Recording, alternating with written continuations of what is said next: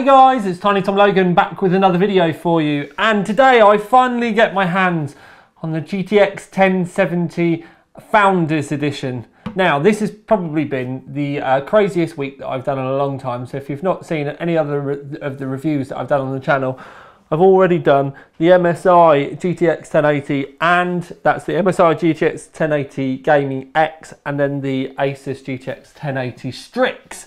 So it's been an incredibly busy week, but yesterday at three o'clock in the afternoon, NVIDIA uh, um, delivered me the 1070. Now, um, I really wanted to try and pump this out as quick as I possibly could.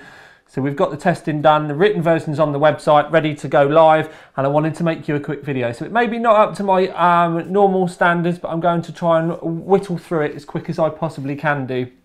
So that I can get my head down over the weekend. Enough of the background story though. Price 1070. Everyone has been wondering how much it's going to be and then how um, uh, good it's going to perform because it does look exactly the same, especially the uh, Founders Edition. it looks exactly the same. So prices I've been given by Nvidia are £399 um, for the uh, Founders Edition, and then you're looking at 429 and maybe a little bit more depending on the vendor for the vendor ones. Now there's a lot of debate with the prices and I have said in the past that I could do an entire video based on that. Uh, and I think the way that you've got to look at it is kind of forget the name, look at the performance because if you focus on the um, the fact it's got the 70 there, you instantly compare it to the uh, 970, obviously, but the 970 was cheaper. It's almost like the uh, the naming scheme has kind of leapt up because the 1070 is coming in around 980 money, but the uh, 1080 came in around 980 Ti money. Now, uh, at the end, what I will do is I will talk to you about the performance versus the cost, and we'll see if you can make your own mind up with it around that. So, under the box, under the nitty gritty, uh, is there any difference? Now, when you look at the PCBs, there are a couple of tiny minor differences. You can see that there's a choke left, a, few MOSFETs, and then uh, there's a capacitor right out on the far side. The 1070 obviously doesn't need as much power because uh, if we bring the graph up, there's a uh, essentially you've got one graphics processing cluster less, you've got five streaming multi-processors less, it's got uh, 640 less CUDA cores and 40 less texture units. Now the other thing to remember with the two cards is the 1080 does have 8 gigabyte of RAM, but it's GDDR5X. The 1070 still has 8 gigabyte of VRAM, but it's only the old GDDR5 that you would have been used to uh, with the previous generation of cards. You can also look at the total memory bandwidth and it, um, it drops from 320 gigabits a second with the 1080 down to 256 gigabits a second with the 1070. So there's your um, kind of mumbo jumbo, uh, specifications, all that type of stuff. Now what I'm going to do is I'm going to jump straight into um, some performance testing and then what I will do is I'm going to talk to you about uh, power efficiency or power draw at the end because I'd actually really like to get the performance out the way first and you'll see why in a little bit. So look in the graph when it appears, and then you've got the 1070 in the graph there. You can see above it, GTX um, 980 Ti Gaming. Um, uh, and that was by Gigabyte. And to be honest with you, the the the, the old G1 because I've not tested the new one yet. I am hoping to get one, but you can see in the on the shelf there isn't a Gigabyte one yet, and I don't think any have been sent out. but it was in the graph. It was quite. It had quite a hefty overclock on it. When you look underneath, and this is 3D um, Mark Firestrike Ultimate, and it's the um, 4K version. If you look below it though, you can actually see the reference GTX 980 Ti, but also the Titan X is in there as well. So we move on to the uh, next one. I chucked 3D Mark 11 in because we've been running this for forever and a day, so it gives us a good old chance to have a look. And you can see the uh, 1070 there, and then the Titan X is just above, and then the 980 Ti is just below. And benchmarks are pretty much like this. They're, they're, they're almost and around about the same kind of um, level. So when NVIDIA was saying before, and people were like, no way, uh, is the Titan X um, going to be the? Oh, sorry, is the 1070 going to be anywhere near the um, Titan X? It pretty much was, but when you think about it, the uh, with the uh, Titans and stuff, it's the 980 Ti I would say to concentrate on more than anything because that's where the driver implementations and um, uh, all the work would have gone in on because that was their gaming card. That was like the big top end focus. The Titan X, um, even the original Titan was ended up getting beaten by the 780 Ti. So it's not unsurprising to me.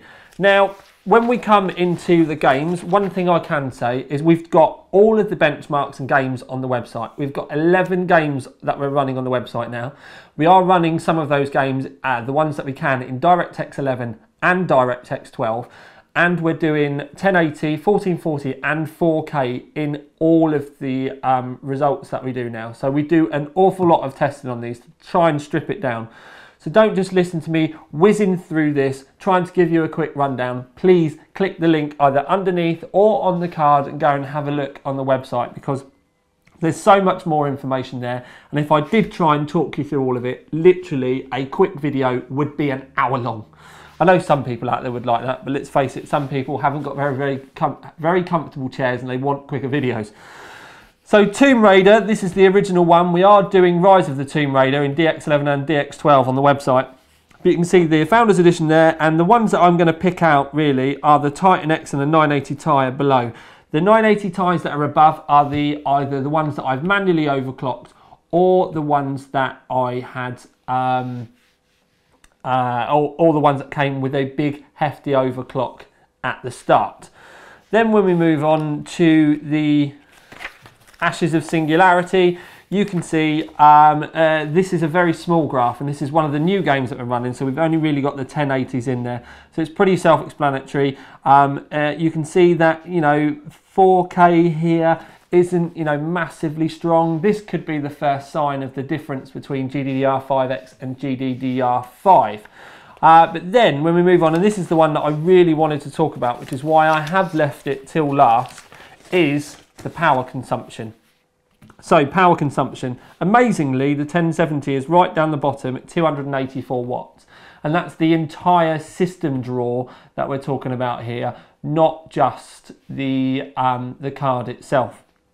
And then if we were to pick out the Titan X, uh, which it's performing roughly around the same, that's 140 watts more. Don't forget you have to factor in that's 140 watts more uh, with the system in there as well. So if it, if it was just the card, then uh, it, it, you know this. Sorry, this is just the card difference because the uh, 284 of the uh, is included in the system. So yes, I've confused that matter. So we'll do it again. 284 is the 1070 with the system. If you were to change the card, then you would be adding another 140 watts power draw if you were to use the Titan X. If you were to use the 980 Ti, it's 160 watts more. So it's around the same kind of performance as a Titan X or the 980 Ti, and you're looking 140 to 160 watts less power draw. Uh, so card for card, it's about, uh, it's pulling half the power but putting in the same kind of performance. So now we've spoken about power, we can talk about overclocking and boost and all that kind of stuff because I kind of hope that if we kind of take you down the path that it will uh, kind of arrange it in your head a little bit better. So if I bring the G first GPU Z up, this is just stock GPU Z opened up. What we can see is the GPU clock is 1506 megahertz says on GPU Z and on the NVIDIA specs as well that the boost is 1683 megahertz.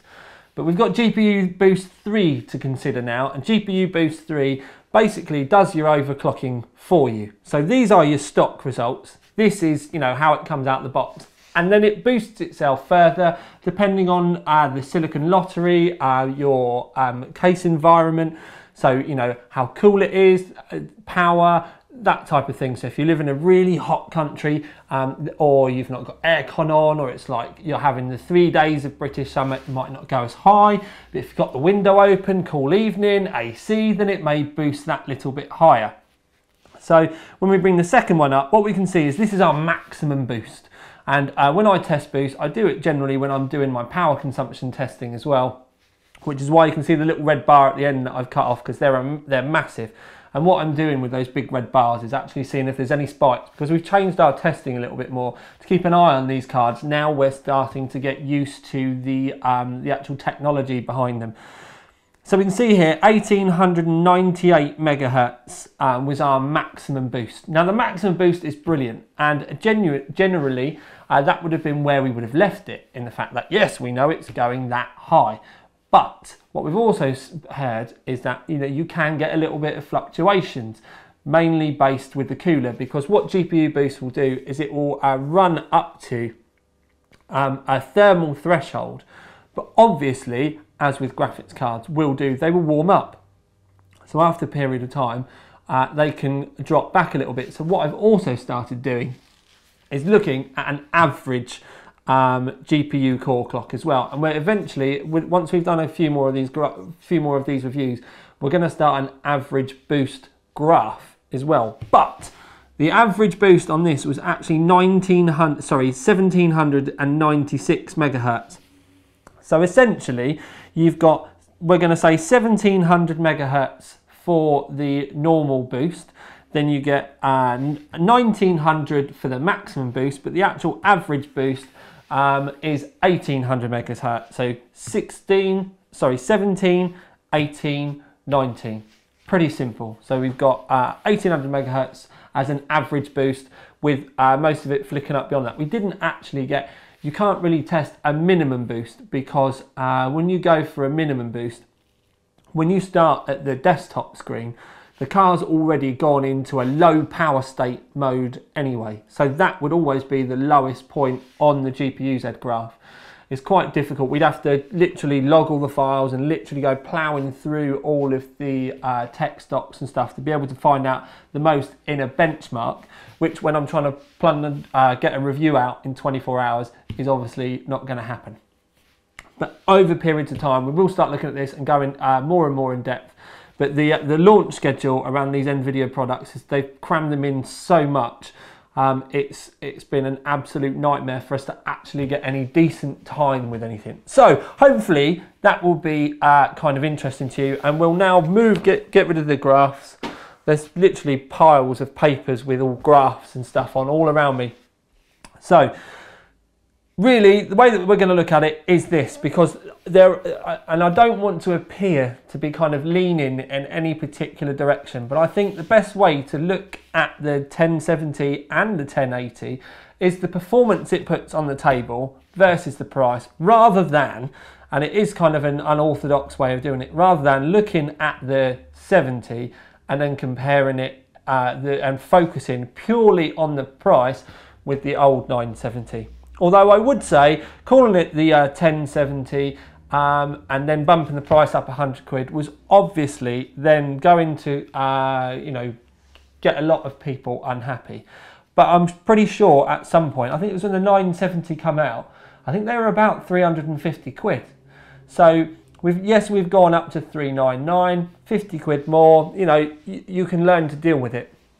But the thing is, is this thing is now delivering us around kind of stock 980 Ti, sort of Titan X kind of performance, or you could say absolutely super turbo comfortably eating any 980 for breakfast. And I mean eating it, not just fighting with it, I mean walking past it and just going for less money, or absolutely slaughtering the old 980s for you know the sort of money that they've been selling for recently. So if we go with the 980 Ti, then you're kind of around a stock 980 Ti performance, but it's using a hell of a lot less power. Um, and this is just the, uh, you know, the NVIDIA one with the NVIDIA card. Although it is super sexy, we've been able to tell with the uh, cards that we've tested already that the cooler can make a massive difference. Reason why I've kind of led you down that avenue is the fact that I've got two of the uh, MSI GTX 1070 Gaming X's by the side of me, which I'm going to be testing. So yes, I am going to be SLIing them. Maybe not next week, but most definitely at least the weekend after, week after. So when you put it into that kind of like ballpark, yes, you're around uh, uh, basic 980 Ti and Titan X performance for less money because you'd struggle to get a 980 Ti uh, new now for 399 yes you can go out there and you can get a um, you know a second hand one for even less than that but you get the, the, the idea where I'm coming on but you, you have to factor in the amount of performance that you're getting per watt now um, uh, so you know I think in that respect you can see that it's been a big leap forward uh, 4K gaming, if you're an absolute, you know, mentalist 4K gamer, then when we test our games, we absolutely max them out. There's nothing we don't turn to maximum. Don't say, did you turn this on? Yes, everything gets turned up to max. Now with 4K, there's a lot of people out there that go, oh, you don't need all the AA on and you'd probably be right. But you know the difference that you can get when you turn the AA off. So if you're a 4K gamer and this is literally the absolute top end of the money that you can afford, then you're not going to be able to turn all those bells and whistles up. You can see in some of the other results on the website that, you know, this really, I would say, is a heavily comfortable uh, 1440p card. It's not meant to be an absolute top flight card. It's really the type of card where it's coming in, and I would say this is kind of um, uh, upper mid range. It's not a absolute screaming top end card. Do you know what I mean? It's not a 980 Ti replacement. Um, it's not a uh, 1080. Do you know what I mean? Which pretty much is the 980 Ti replacement. But anyway, so it's it's upper middle pack. Um, uh, and in that respect, upper middle packed, 1440p, very comfortable frame rates, very, very comfortable frame rates. Uh, and to be honest with you, this card is even going to be kind of a little bit wasted uh, with 1080p games, as you'll be able to see on the website. So to me, I would say this. I, I, we've given it Gamers' Choice as an award, but we've given it Gamers' Choice, uh, and I don't mean Gamers' Choice as in for it's accessible to everyone. It's a bargain basement, you know, absolute screaming end product.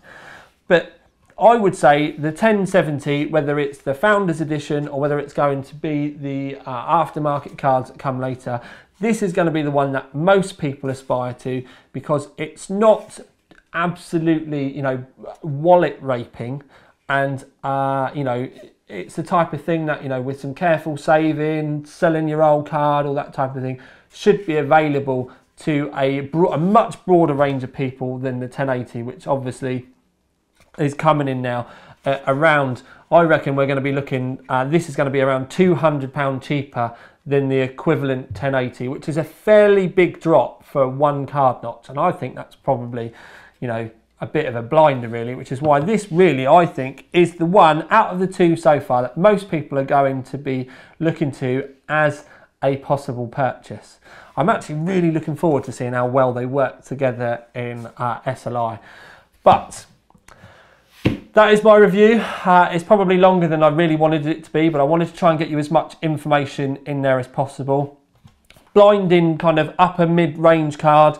Uh, Gamer's Choice Award, I'm still not 100% sure about that to be honest, so I would like to hear your thoughts underneath on where you thought this one should have gone, whether I should have marked it down more or whether you think it deserved a little bit more uh, uh, uh, recognition is probably the one that I should say. Because I think considering the price drop and the fact it's not necessarily really close to the 1080 but it, now it's gone into the pack it's kind of mixed things up a little bit. And I, I actually think it's pretty damn cool. But anyway um, one thing I can say is um, for anyone that is interested, I have actually tested the two MSI GTX uh, 1080s in SLI already. All of the results and everything are done, and I'm hoping to have that up for you all early next week. So for the regulars out there, keep your eyes peeled Monday stroke Tuesday, depending on uh, how bad I'm feeling after the uh, Isle of Wight festival, and I will be back. But for now at least, this is Tiny Tom Logan with another video for you. Out. Ding!